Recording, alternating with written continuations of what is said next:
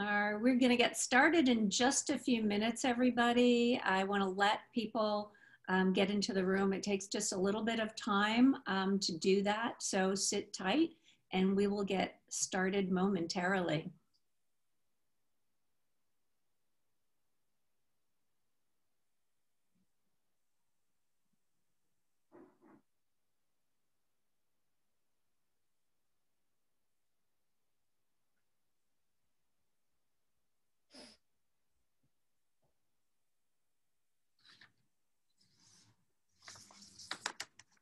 I can see people are still coming in the room, so we're just gonna wait a few more seconds or so before we get started. And I officially welcome you. Uh, I just wanna give everybody a little bit more time to settle in because I can see the numbers keep growing. So just a few more seconds and we will get started, I promise.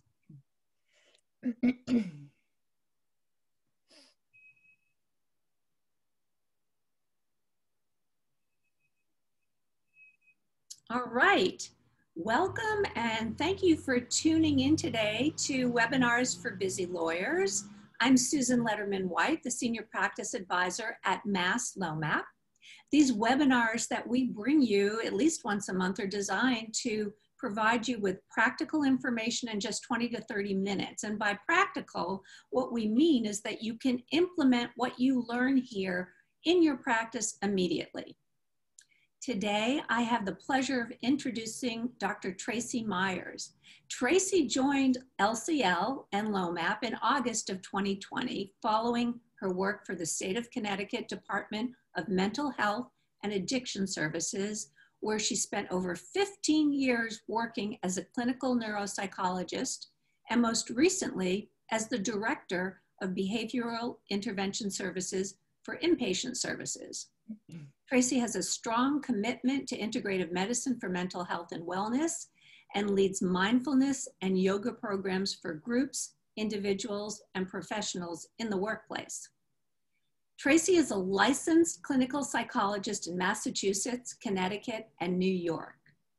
In addition, she is an advanced yoga teacher, certified CIAYT yoga therapist, MBSR, breath, body, mind, and iRest teacher. Tracey has authored several publications, including articles and book chapters around integrative medicine, positive behavioral support treatment for different mental health conditions, and developing collaborative relationships in healthcare set settings. Before I turn it over to Tracey, which I will do so shortly, I want to let you know that we will have time at the end to take all of your questions. So what I'm gonna suggest that you do is as soon as they arise, just write them into the chat box. And I promise you, at the end of Tracey's presentation, I will relay those to her at the end. Um, I also want to tell you that if you enjoy this, I'm going to be able to tell you about two more opportunities where you're going to get to hear more from Tracey. So stay tuned for that. So Tracey, take it away. Thank you, Susan. So I'm so excited to be here. Um, I'm new to LCL and really excited to be able to share um, some of the integrative modalities that Susan mentioned, um, including mindfulness and um, some other techniques that might assist us during these difficult times. So I'm going to start by sharing a PowerPoint with you all.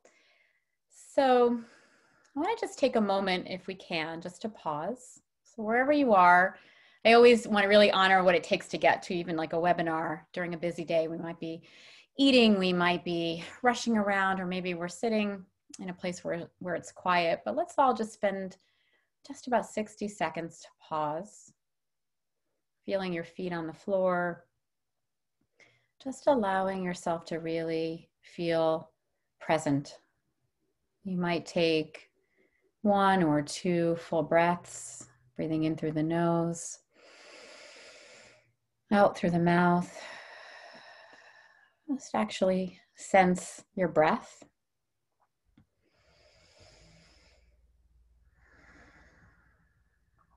Maybe scanning the body, just noticing how your body's feeling right now.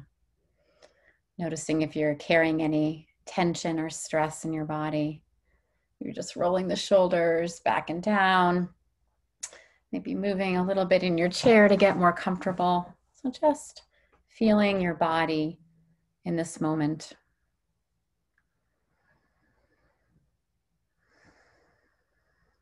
So I like to arrive that way whenever I'm trying to start something new, whether transitioning or beginning a session with a client, just to take a, a, moment to arrive because we're often so lost in our thoughts and rushing from place to place or even Zoom meeting to Zoom meeting.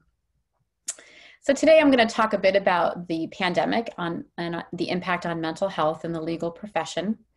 Then spend some time talking about the thinking and the worried mind because so much of what is happening for us is, is happening in the mind. Um, so we'll explore a little bit about some strategies to work with the worried mind, introduction to a little bit of mindfulness meditation um, to see how that might fit in with working with the worried mind, and then hopefully finding a little bit more ease and satisfaction in daily living. So, just very briefly, we know that mental health for lawyers and legal professionals before the pandemic, there were um, a lot of concerns. The Hazelden study, which probably many of you are familiar with, um, in 2016 showed significantly higher rates of alcohol use um, with attorneys.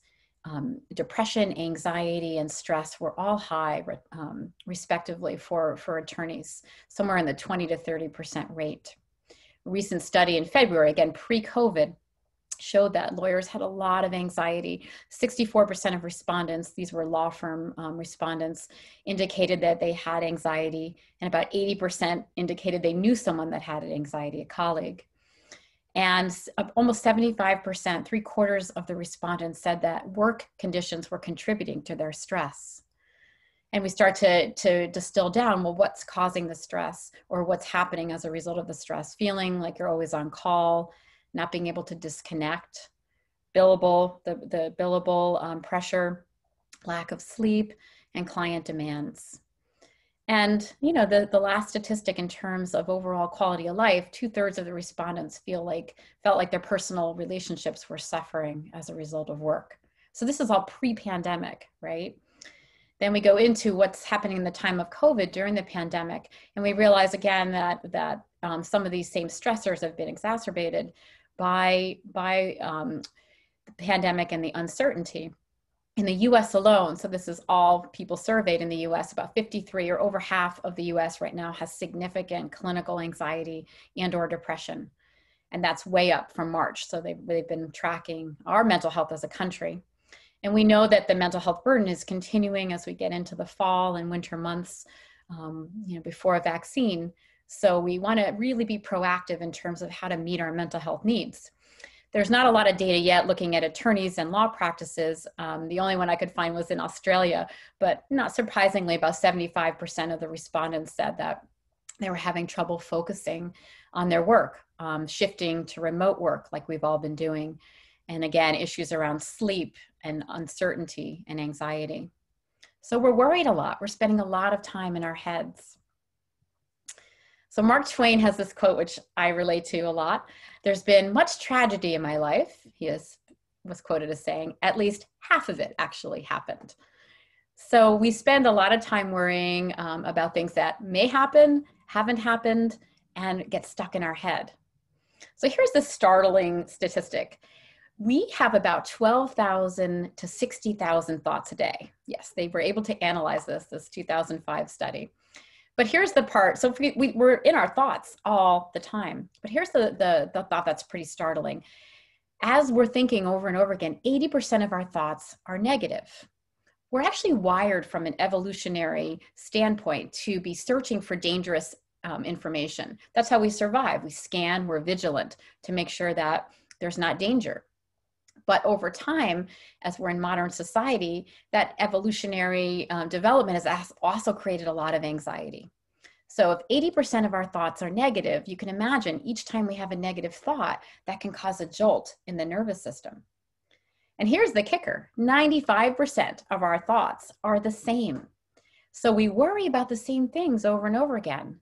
I sometimes call it like the top 10 list, right? The top 10 tunes that I play over and over again, worrying about health, worrying about my kids, worrying about financial issues, worrying about the job. You know, even if they're not the exact same thought, they're themes that are very similar. Another study in 2005 indicated that 85% of what we worry about actually never happens. Goes back to that Mark Twain quote. But even if it doesn't happen, we're stuck in the worried mind. So, what happens when we're worrying all the time?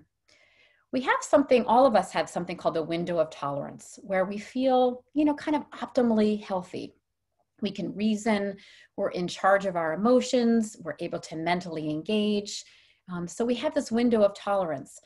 And if we have chronic anxiety and worry, that can either kick us into hyper arousal, where we're overactive, we're stressed, we're really anxious, our thinking deteriorates a little bit. Picture like that feeling of panic that can ensue. Or we can start to shut down. We can get depressed, kind of lethargic, unmotivated. And sometimes we fluctuate between all of the, the, these two areas. We can stay up for a while and then we might crash. So our window of tolerance can get exceeded, especially during stressful times like the pandemic. Never mind, in addition to law work is really stressful. So I'm going to show you a little bit more about kind of this chronic stress we're in. So trauma can affect our window of tolerance. If we have a lot of trauma, and it might be secondary or vicarious traumatization, it might be primary trauma if we ourselves have had something traumatic happen, and this pandemic is ongoing repeated trauma, never mind the state of the world, when we start to think about what's happening in our country with racial injustice, the political climate, that's a lot of trauma for our system. And when we have a lot of trauma, our window of tolerance can shrink. So we might have a normally healthy window of tolerance, but as each traumatic event happens, we can we can get smaller and smaller so that it takes little things to set us off. So we might get really irritated at a relatively small event, um, or we might get really overwhelmed and depressed with something that happened, even if it wasn't such a big deal, because it's a cumulative effect. So, how do we work with all of this?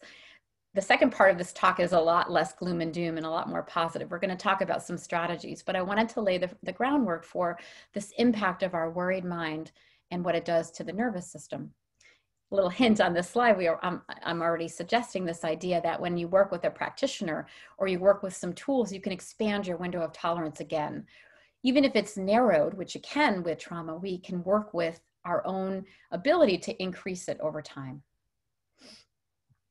All right, so I want to do a little bit more thinking um, around our automatic negative thoughts. So 80% of our thoughts tend to be negative. And I like this idea of automatic negative thoughts or ANTs. Makes it a little fun.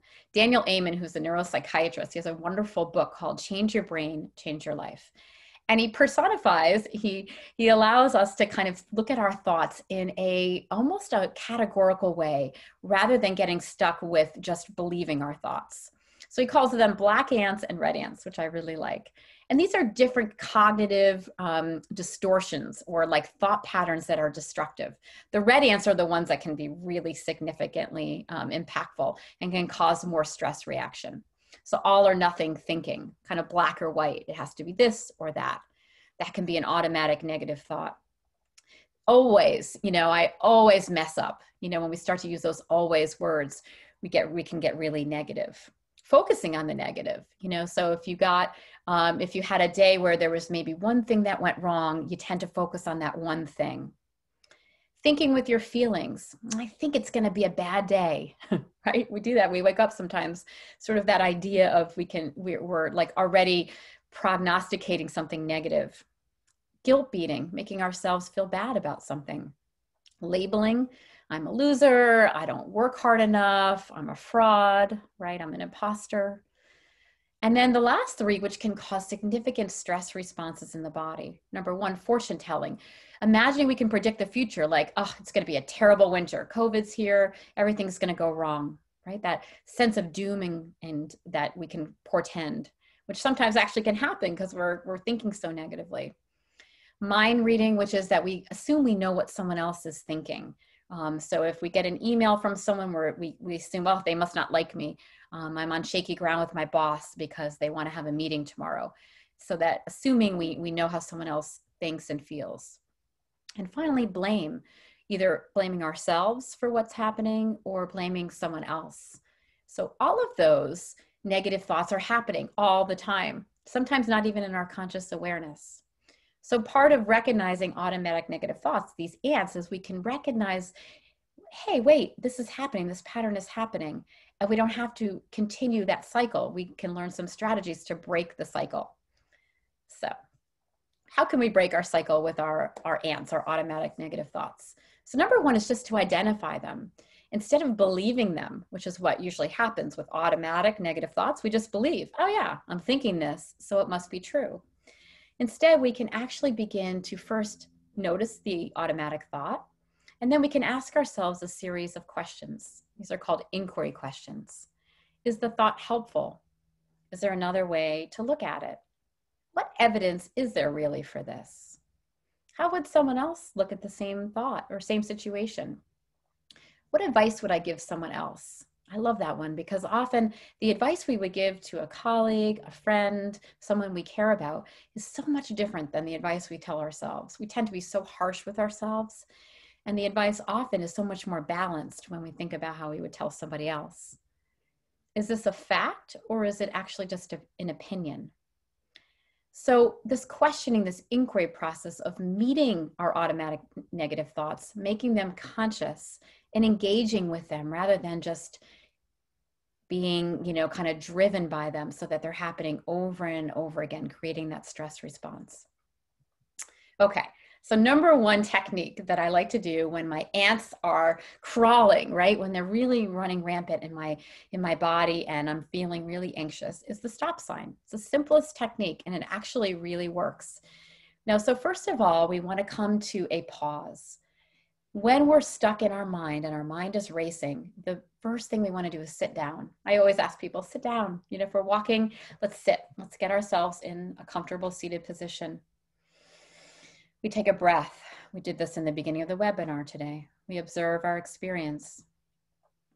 What is it? Notice what notice what's happening. What's happening in the chest? What's happening in the belly? What automatic thought, negative thought is happening? So we, we're breaking that cycle of a thought and then a reaction, a thought and then a reaction, pausing, observing, and then proceeding. I like to do the stop sign even when I'm not stressed.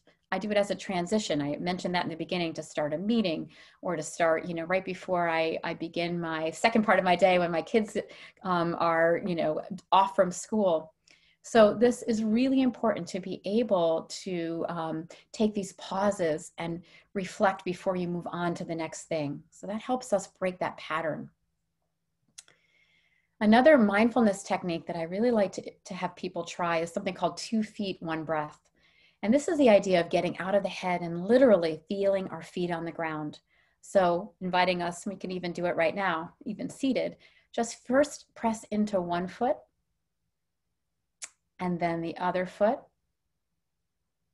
Press into both feet at the same time. Just feel the legs engage. And then take a conscious breath. And notice how, for that moment, we weren't thinking, right? It was a way to get out of the head and into the body. That pause just gives us this opportunity to reflect. All right, just a couple of more things I want to share so we can use the mind, and we'll, we can talk about this briefly about we can use the mind to change the brain to benefit ourselves and other beings. When we're less stressed, when we're not caught in that reactivity, we have a wider window of tolerance to enjoy our lives.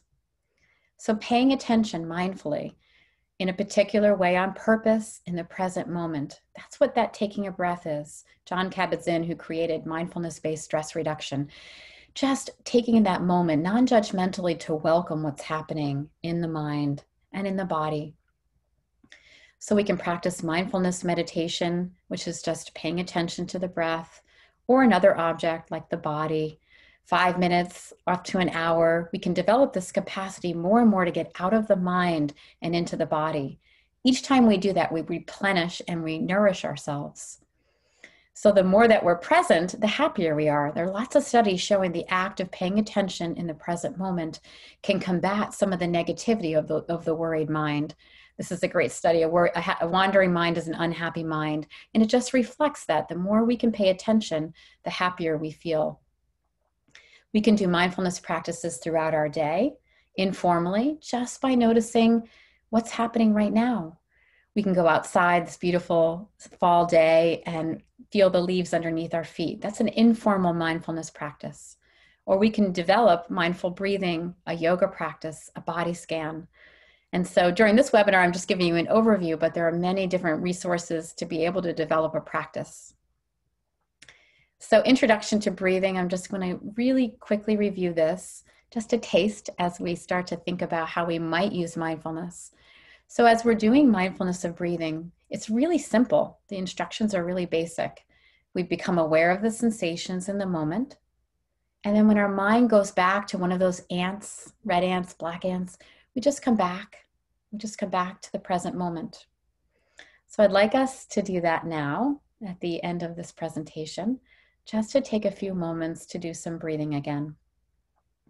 Feeling your feet on the floor, allowing yourself to notice the breath, feeling the belly rise on the in breath and fall on the out breath.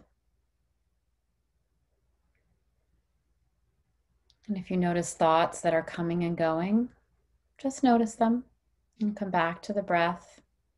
We're not trying to take away the thoughts, we're just anchoring our attention in the present moment. Let's just do that for five more breaths.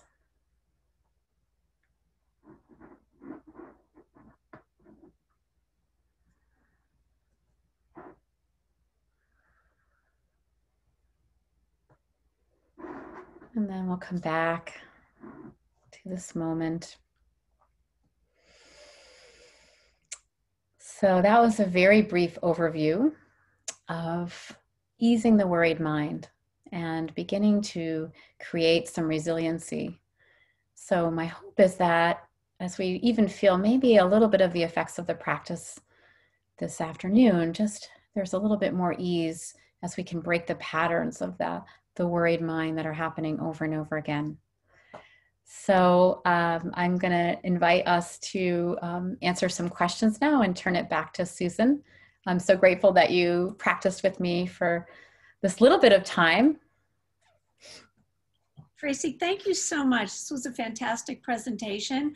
I really want to encourage everybody to put their questions in the chat box we aren't really able to um, manage the hand raise. Um, so if you could put your questions in the chat box, I would be delighted to relay them to Tracey and I'll give you just a few minutes to do that. Um, so, you know, Tracey, I just want to ask you to tell us a little bit about your upcoming program. So on November 2nd, the Mindfulness Tools for Lawyers, I know that's a whole series. Yeah. a bit about it? Thank you. Yes. Yeah, so um, starting November 2nd for the month of November, four Mondays um, from noon to one, I'll be leading an hour uh, presentation on learning how to meditate, just like what I started to introduce today. So, particularly the nuts and bolts, many of us have probably tried to meditate before. Maybe we use an app like Headspace, but to, to sustain a practice during busy times, it can be really difficult. So, we're going to spend the time really going through some practices, learning how to meditate, learning the benefit of that. Um, and so, I'd love for you all to join us. And this is at LCL, they can register there. And it's yes. a series? Yes, it's a series, a free series through LCL, um, four weeks, and hopefully at the end you'll have a customized meditation practice for that will really help you. Terrific. And uh, we have some questions, so let's go to the questions and then we'll come back. Um, can you recommend how to find a therapist who is a good fit? Ah, such a good question. That's hard, you know, that is a, it is a challenge. Um, you know, so some resources I often ask people to look through is like the Psychology Today website you'll see in your area first of all who takes your insurance but also their expertise. So if you're interested in you know my i'm biased my mind body approach you might look and, and many of the psychologists and social workers will list what their expertise is. So if you have trauma and you're interested in going to a trauma therapist. So that's one way I like to start, at least to have a sense of, of does that person have a good match? And then honestly, it's like one or two sessions with that person. Um, it is okay to, to try to shop around a little bit and make sure there's a good personality fit. Um, you know, it, it really does take a little bit of effort, but I usually start with psychology today. Um, and then I ask them questions specifically, you know, how do they work with this? What modalities do they use? Uh, second question, do you have any tips for lawyers to con uh, control stress when the stress is caused by outside sources like clients, other attorneys, and deadlines? Yeah, so that's like the hardest part, right? That's that red automatic thought, that ant of like, you know, the external we don't have control over. And so in those situations, right, it's recognizing the pieces that we can't control, right? We can't control what is happening out there but we can control our inner reaction and particularly to when to be kind to ourselves part of our four week series we're going to talk about compassion when we're struggling to be able to be kind to ourselves rather than to hurt ourselves. We often call that like the second arrow you know the first arrow when we're when we're anxious or someone has caused us stress. The second arrow is what we do to ourselves. We beat ourselves up. So we can we can address that part of how to bring self-compassion to ourselves so that we're not gripped with with um, more more punishment more self-punishment when we're having a hard time. Mm, that makes so much sense um, so just remind us the series is on what day of the week so it's going to be on Mondays for the month of November, starting the day before Election Day. So we'll get into, we'll be doing some practice to work with what might be coming up. So it's really a combination of practice and learning tools. Um, and so hopefully that will that will be really supportive during this challenging month yeah we have another question what can you do to address and control stress when caring for an elderly or ill parent child and so forth while still practicing law. Yeah so you know that that extra demand right of being home now and being in the sandwich generation of care, being a caretaker one thing i like to do sometimes is to get people involved in my practice. My poor children now they're teenagers and adults but i often recruit them to do a practice. Let's go for a walk together. Let's do some breathing together um, self-care is great but if there's not time to do self-care for yourself then you're trying to get the group to do it. So i try to do a practice whether it's outside in nature or doing something mindful for myself. Also really creating a schedule where you even give yourself five to ten minutes you know at the end of the day um, where you turn off the phone and literally do some breathing practice laying down and placing your hand on your belly hand on your heart and doing some slow breathing can be super effective so i do both. I try to get the people i'm caring for to be to do something with me and then carving out even the smallest amount of time for myself that i stick to. Mm, that's such a good suggestion there. Um, so we have a question about registering for the webinar. Um, so this series anybody can go on to our website which is lclma.org and you can register for Tracey's series. Just feel free to go ahead and do that. Um, if you run into any problems, feel free to email me and I'll help you get there. And I'll put my email in the chat box. Um, it's susan at masslomap.org. And uh, I can also put Tracey's in there too. That's Tracey um, at lclma.org. So, you know, certainly feel free to follow up with us with any questions that you might have. Um, Tracey, can you tell us just a little bit about the upcoming presentation that you're going to be doing on November 13th for the Boston Bar Association? Yeah, so keeping with thinking about November and the holiday stress coming up, um, we're going to be talking about holiday stress and particularly around some of the issues that some, some of the respondents just asked about, how to be home during this challenging time with family, um, the burdens and joys of, of holiday time. So we're going to be talking about some mind-body techniques, a little bit of movement. Um, we didn't spend time today talking much about movement in the body and how that can also ease some of the stress going on. So we're going to do a little bit of gentle stretching, a little bit of breath work, um, so that you feel a little bit more refreshed going into the holiday season. And you can find more information about that on the Boston Bar Association's website. And I believe we also have that um, some information, I think, on our website as well on that one. Um, but again, you can always email either of us directly and we'll get you to the right spot. Um, so Tracey, thank you once again for a fantastic presentation. Uh, for those of you interested in listening again, um, we're gonna provide a recording on our website along with a PDF of Tracey's slides. We'll get that up as soon as we can. And I want to um, remind you to mark your calendars for November 18th when Susan Blakely will present on what millennial lawyers want and how to effectively lead them. So that should be pretty interesting. So thank you again for tuning in today and have a terrific afternoon. Bye-bye, everybody. Thanks, everyone.